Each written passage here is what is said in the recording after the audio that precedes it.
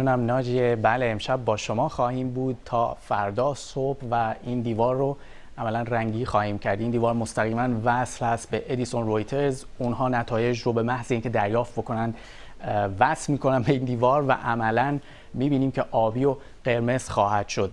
اگه خاطرتون باشه سال 2016 ساعت 4 به وقت لندن ما می‌دونستیم چه کسی برنده انتخابات این بار هم ایالت هایی که در شرق آمریکا هستن مثل فلوریدا کارولینای شمالی و پنسیلوانیا ایالت هایی هستن که باید حدود نیمه شب لندن دو سه تهران چشممون به اونها باشه که نتایج میاد. برای آقای ترامپ بسیار بسیار مهم هست که ایالت های کلیدی مثل فلوریدا و پنسیلوانیا رو ببره. بدون ایالتی مثل ایالت فلوریدا آقای ترامپ شانسش برای رفتن به کاخ سفید تنها 5 درصد خواهد بود.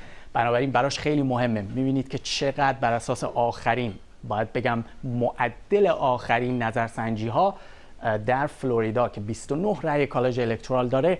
ببینید چقدر رقابت نزدیکه. حتی در در طول چند هفته گذشته بارها بایدن بالاتر هم بود. بنابراین باید صبر کنیم ببینیم چه اتفاقی اونجا میفته همزمان پنسیلوانیا هم اهمیت زیادی داره.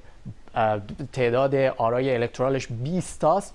و همونطور که می‌بینید آقای شما موفق شد در سال 2016 اون رو از دست دموکرات ها در بیاره. چند ساعت بعد از اون اتفاقی که میفته ایالت های ویسکانسین میشیگان و اوهایو رو باید منتظر نتایجشون باشیم. اینها ایالت هایی هستن که در سال 2016 آقای شما موفق شد از دست دموکرات ها در بیاره و اون چیزی رو که به عنوان دیوار آبی این بالا شناخته می‌شد رو بشکنه. چون هر وقت دموکرات ها تونستن در انتخابات پیروز بشن عملا این دیوار رو تونستن شکل بدن. همونطور که می‌بینید شکست آقای ترامپ در سال 2016 اما اتفاقی که این بار افتاده و خیلی جالب هست اینه که ایالتهایی به عنوان ایالتهای رقابتی وارد بحث شدن که قبلا چندان نمی‌دیدیم اونها وارد این موضوع باشن. مثل تگزاس ایالتی که به صورت سنتی عملا جمهوری خواهه اما این بار می‌بینیم که رقابت انقدر درشون نزدیکه که ایالت تگزاس هم حتی نتونستن زودتر نتیجه گیری بکنن. یه نگاهی بکنید به ایالت های رقابتی. عملا تگزاس رو می‌بینید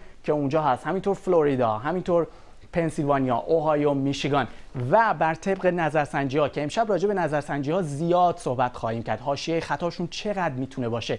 تا الان ما تصور می‌کنیم که 213 رأی کالج الکترال رو آقای بایدن خواهد داشت یعنی با خیال راحت و 125 رأی الکترال رو آقای ترامپ آقای ترامپ بدون فلوریدا، پنسیلوانیا، کارولینای شمالی، جورجیا عملا راهی نخواهد داشت برای رفتن به کاخ سفید. اگر فرض بگیریم که آقای ترامپ خیلی خوب بتونه عمل بکنه و بتونه فلوریدا و پنسیلوانیا رو هم ببره اون وقت به 174 خواهد رسید. و اگر آقای بایدن بتونه اوهایو میشیگان ویسکانسین مینسوتا و آریزونا یا نوادا رو هم ببره اون وقت آرایو عملا بالاتر خواهد رفت. دیگه عملا کاری نخواهد داشت آقای بایدن به اینکه نتایج در تگزاس چه خواهد شد یا جورجیا چه خواهد شد. حتی اگر فرض بگیریم آریزونا هم به آقای ترامپ نرسه باز کارولینای شمالی می‌تونه این کار رو انجام بده. سناریوهای زیادی هست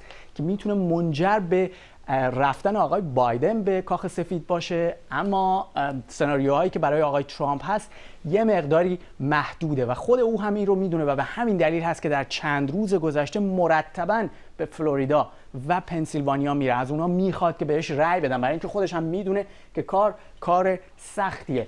اما امشب فقط انتخابات ریاست جمهوری نیست که منتظرش هستیم. در کنگره در مجلس سنا هم که جمهوری خواهان تا الان اکثریت رو داشتن. هم چندین کرسی در مجلس سنا هم به رأی خواهد گذاشته خواهد شد. شاید ترکیب به هم بخوره شاید ترکیب یعنی خیلی ها میگن حتی از کسانی که در حزب جمهوری خواه هستن که ترکیب مجلس سنا با اکثریت دموکرات خواهد شد. و همینطور تمامی در واقع کرسی های مجلس نمایندگان که ترکیب کنگره رو خواهیم داشت. عملا برای هر کدوم از این دو نفر خیلی مهمه که کنگره همراهشون هست یا نیست. اگر آقای بایدن بره اون وقت می‌تونه با یه کنگره ای که عملا دموکرات ها در اون نقش زیادی دارن قوانین خودش رو رد بکنه و اگر دموکرات ها باشن کار برای آقای ترامپ خیلی سخت خواهد شد. امشب حرف خیلی داریم راجع به این نقشه با شما بزنیم و آرام آرام نتایج که خواهد اومد بهتون اطلاعات بیشتر رو خواهم داد. می‌تونیم راجع به هر کدوم از ایالت ها کلی صحبت بکنیم. با ما بمونید امشب. امشب نخوابید. امشب شب مهمیه. تا صبح و امیدواریم که بتونیم تا ابتدای شب اوایل شب شاید وقتی که نتایج در ایالت های شرقی مشخص بشه اون وقت بشه نتایج رو داد. اگر این ایالت ها نزدیک باشه اون وقت باید صبر بکنیم و شاید چندین روز یا چندین هفته هم طول بکشه.